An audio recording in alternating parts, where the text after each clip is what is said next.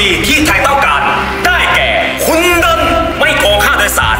ดาวสมานไม่รับสินบน คุณพิมลผู้นำต้านโกง คุณดำรงเปิดโปงคอร์รัปชันให้คนดีมีที่ยืน ไม่ขี้โกงคนดีที่ไทยต้องการ